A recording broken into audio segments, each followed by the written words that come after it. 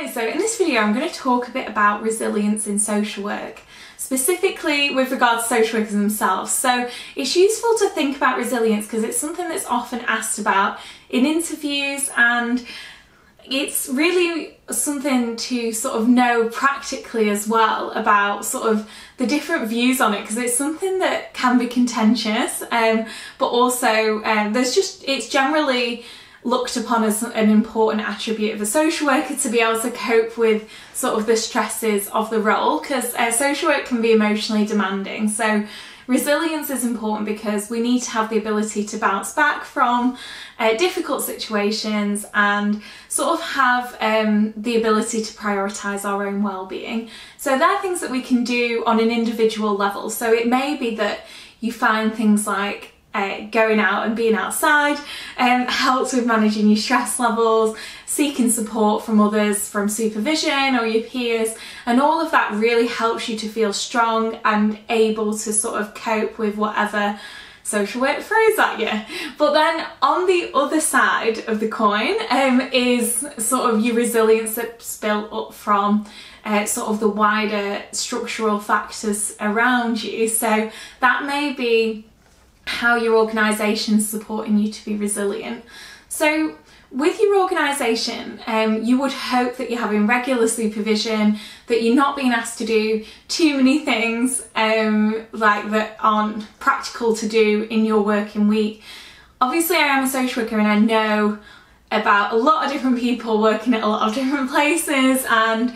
it's not always the case that we are being required to do that. Like we, it's sometimes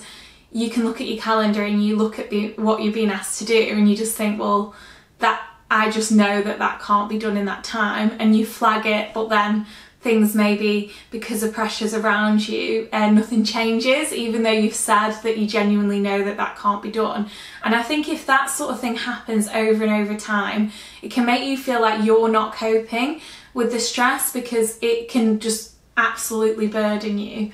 um, and lead to you feeling completely overwhelmed. Um, and I think that it's important to know when that is the case. So when your sort of resilience is being undermined from like an organisational and structural level, because it may be something that literally you can't change by being better at managing your own stress. It may be something that is outside of your control. Um, and I think,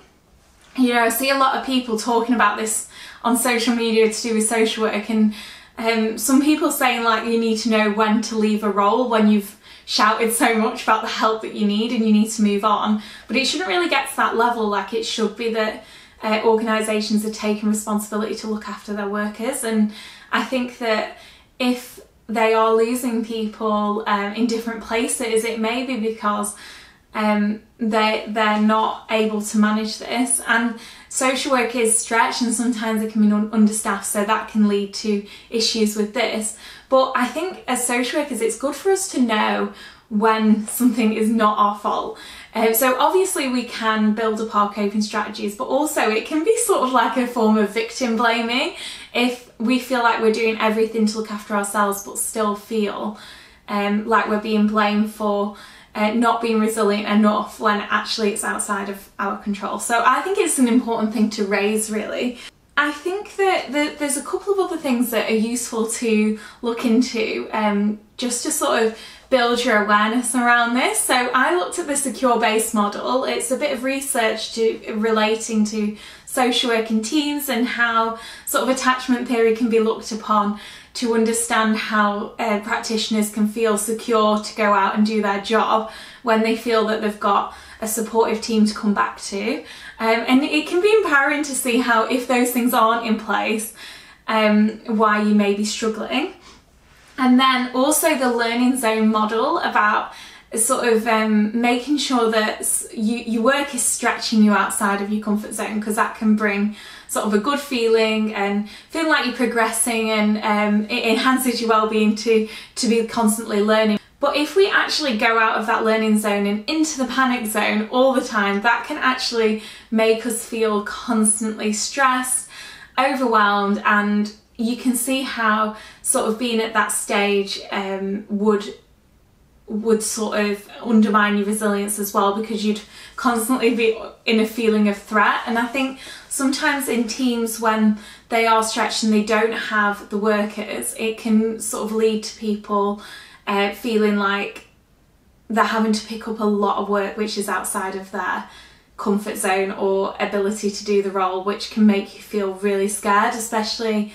when you sort of think about the fact that it's your professional identity that's on the line, like you're also um, that we're registered professionals and you may not feel safe doing that. And I think feeling safe in your role is really important in social work.